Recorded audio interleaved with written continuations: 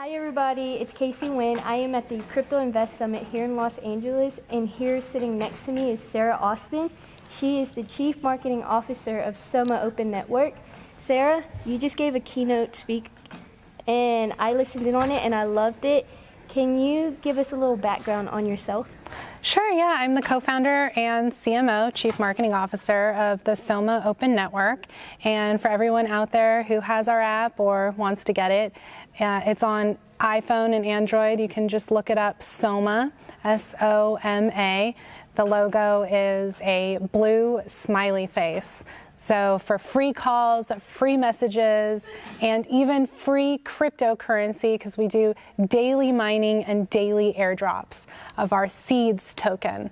And uh, this is a token that we released into the network this year. We also released a crypto wallet. And at my keynote, we just announced that we are opening a platform for DApps, mm-hmm. which will be regulated through the community of crypto um, enthusiasts on our network. Um, so yeah, so the Soma Open Network is a great platform for DApps to get exposure to our users. So similar to how Facebook opened up their um, platform to third-party application developers, and you had the, you know, Farmvilles of the world right. take off.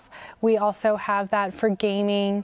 Um, this is one of the popular features that we're seeing a lot of developers use our platform to deploy their games.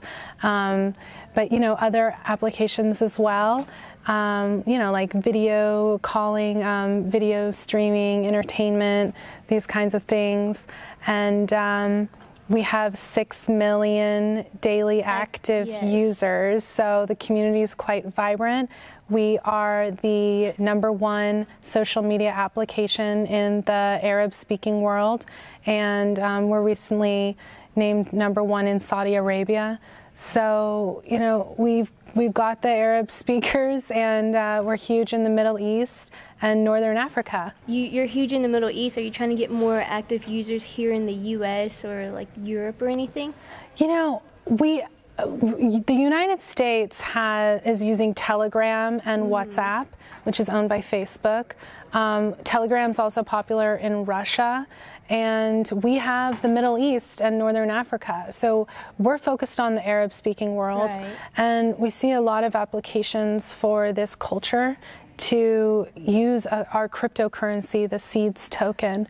Um, for example, Saudi Arabia has Mecca, and uh, pilgrims are going to Mecca every single year. Um, they need a cryptocurrency for this cross border payments um, they're frequently traveling there, mm-hmm. and there needs to be a, a, token for pilgrims. So, you know, we're really focused on empowering women in this region, um, economic empowerment. We're focused on growing our user base in this area, and, um, you know, if, if this becomes more popular in other regions, then that's great, but right now we're building features for our user base of 85 million users and, and really focused In that on area. that. Mm-hmm. Um, I would like to ask, why is it, why do you think that you guys have most of your users in Saudi Arabia? Is there something happened that the users over there just gravitated towards Soma? Yes. So what happened is WhatsApp was banned in the UAE.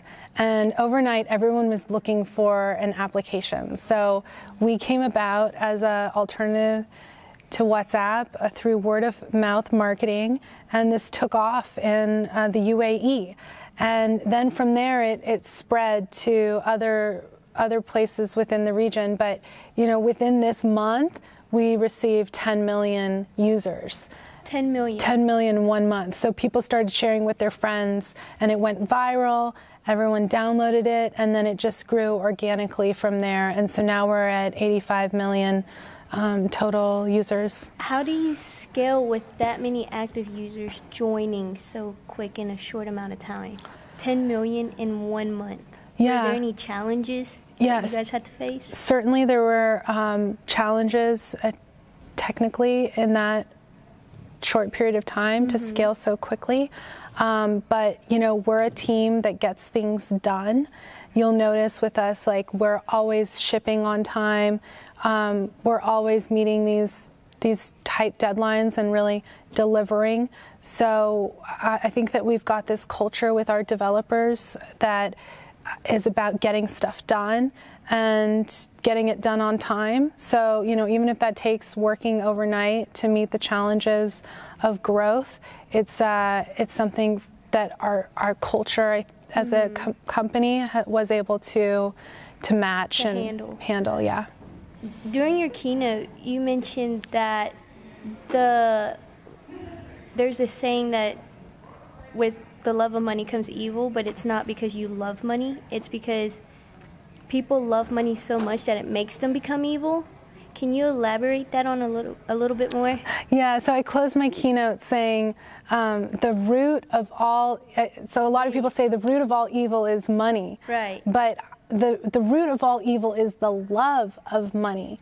And so when you see the crypto community so focused on trading mm-hmm. to make money, um, there's a certain level of ethics that can. Um, some people can pump and dump. Yeah, I don't want to use the term, but that's the, so it's the tip of my tongue, basically. Yeah, if if the communities are market making and there is this pump and dump um, community, then well, what, how do we have any trust in right. what the market's doing? We need to look beyond hype, and we need to look at reality and stop loving money because what are we doing to the community as a result? I mean, it's hurting people. These kinds of get rich quick schemes mm-hmm. in crypto are hurting people. So, you know, our token, the Seeds token, it does not have an ICO. We have simply deployed a token on our network.